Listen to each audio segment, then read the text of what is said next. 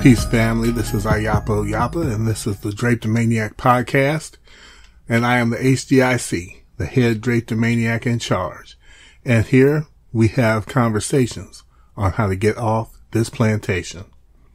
This Drapetomaniac podcast is going to be extreme. Excuse me. I, I'm sorry to interrupt. I just wanted to make sure that you listeners are listening to the Drapetomaniac podcast on doayamedia.com. You are, right? extremely brief.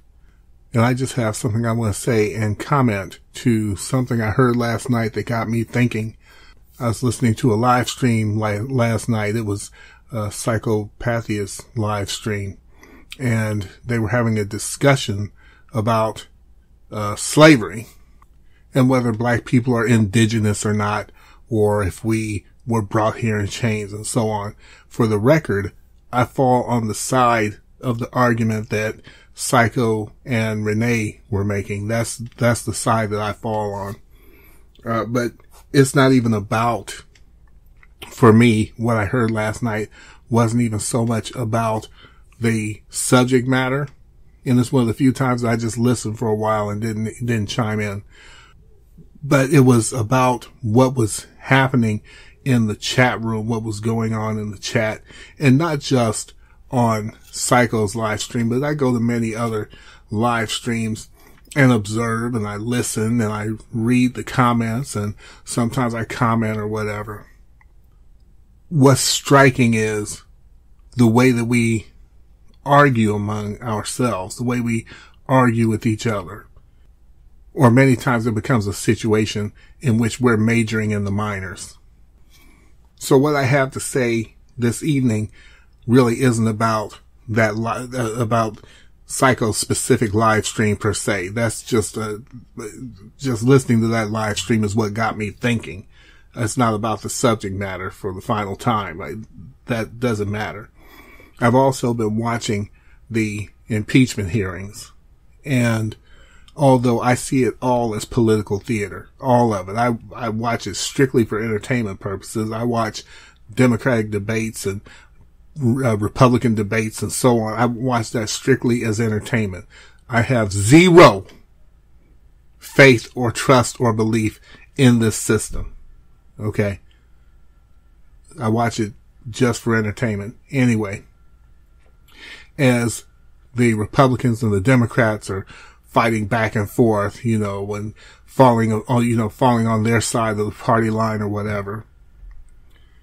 The thing that's striking to me is that if at some time someone was to rush into the, you know, rush into the hearings, right, in the middle of while both sides are arguing back and forth, if someone was to rush in and say, the black people are uprising, you know what they would do? They would all say, you know what? We need to table this and go and get these black people back in line. That's exactly what they would do. They would table whatever they're doing. No matter what the conversation was about, no matter what they're arguing about, no matter what side of the fence they're falling on, at that point, they would say, screw that. We need to attend to these black people who are uprising. My point being that when we get in arguments, when we have these discussions, it's like we're not remembering or realizing that we're in a situation where we actually need to figure out what, what the common banner is, find out what the common strategy is, and move forward under that and have all these other arguments later.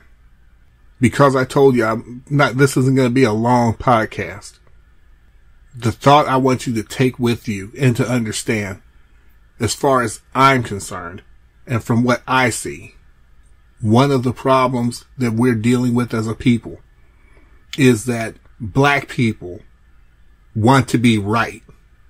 We argue, we argue, we argue, trying to make our point. Ultimately, say that I do make my point and I prove you wrong. What have I won? The system still remains in place as it, as it is. And we're still on the bottom of it. Say that you prove me wrong. The system is still in place and we're still at the bottom of it. But we fight and we fight and we fight and we argue and argue with each other, trying to be right. And it's at the point where, and what I figured out is black people are more concerned about being right. White people are more concerned about being white. That's why they can get together and pound us every time while we're sitting here fractured, running off into a million different directions. Everybody's trying to be right. Everybody's more concerned about being right than coming together. At some point, someone's going to have to realize, you know what?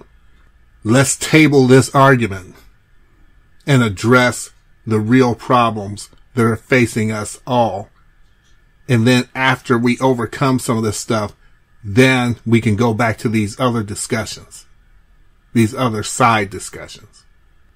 So that is the, that's the problem as I see it. That's the solution as I see it. The solution is to take whatever your belief system is, however you believe, and say, you know what, I'm going to table this for a minute so that we can work toward a common cause. And then once we have some breathing room, then we can address these things. Whether we're able to do that or not remains to be seen. But that's how I see it. This is Iyapo Yapa. This is the Drapetomaniac podcast. And as always, I'll see you on the run.